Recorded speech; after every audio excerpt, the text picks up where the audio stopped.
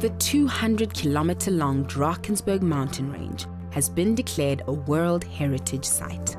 It's the perfect destination to recommend to visitors interested in adventure tourism, nature and wildlife, rock art, and military history, aside from leisure activities and sheer relaxation.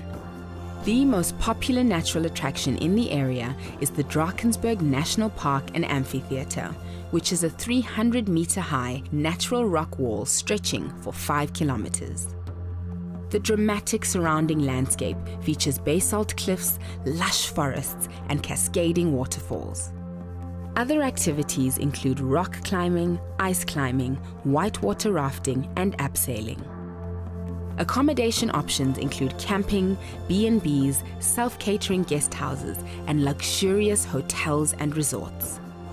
There are many sites of cultural interest, including tens of thousands of Bushman and San rock paintings and South African war battle sites.